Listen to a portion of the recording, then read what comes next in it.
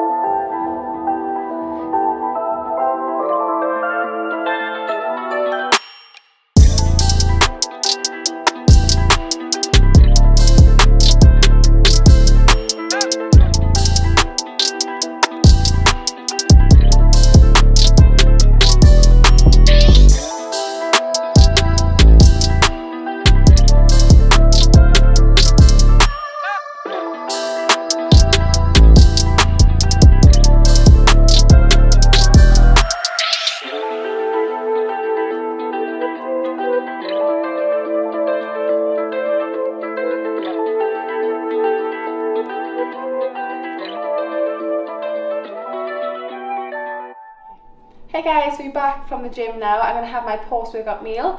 I've got 130 uh, grams of Cocoa Pops. I think I'm a bodybuilder now.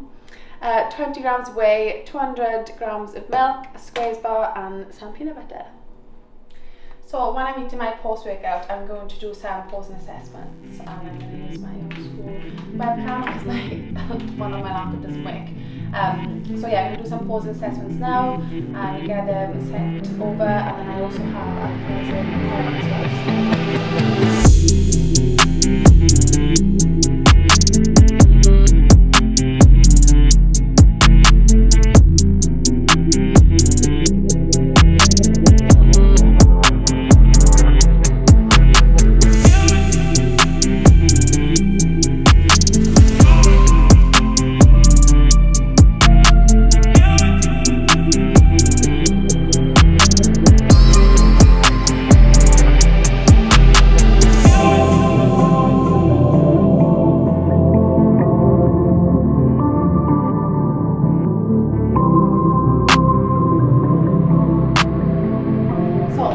sessions then. I just finished all my posing assessments, completed my posing clients as well. I'm just cooking my chicken for the next few days. Um, but yeah, that's pretty much it. I hope you enjoyed uh, this episode and I'll see you all soon.